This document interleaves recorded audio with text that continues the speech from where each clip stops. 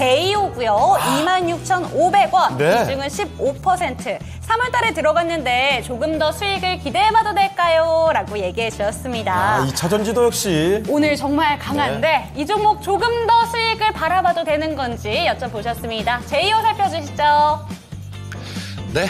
자, 우리 시청자님 3월 달에 매수를 하셨으면 그동안 마음고생도 어, 되게 좀 많이 크셨을 크셨었던 걸로 생각됩니다. 뭐 이게 2만 원 근처까지 빠졌으니까 어, 굉장히 괴로우셨을 텐데 일단 축하드리고요.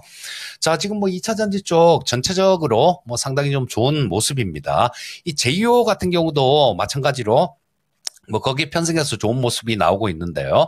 자, 요게 어 작년에 처음 상장되고 난 다음에 공교롭게도 상장되고 난 다음에 얼마 안 있다가 이 2차 전지 업황들 전부 다 뭐 2차 전지 종목들이 다 같이 좀 급락하면서 같이 어려운 모습을 보였습니다. 근데 지금은 상장되고 1년이 좀 지난 그런 상황이죠.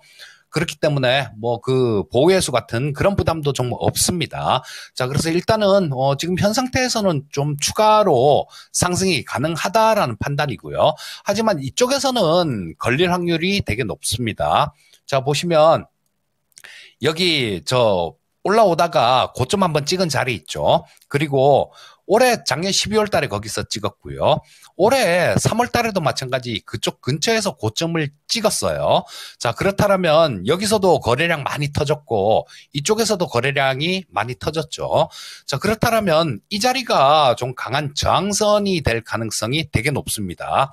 그 가격대는 3만 원 근처 정도가 되게 되니까요. 우리 시청자님 지금 오늘 어 저 본전 예, 이상까지 왔는데 조금은 더 기다려 보셔도 좋을 것 같습니다.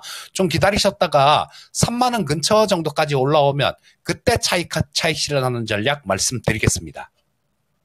네, 제이오 살펴드렸습니다. 이 종목 같은 경우에는 보호예수 물량에 대해서도 걱정 없다라는 말씀 얘기해 주셨고요. 조금 더 수익 보시면서 기다리시면 좋을 것 같습니다.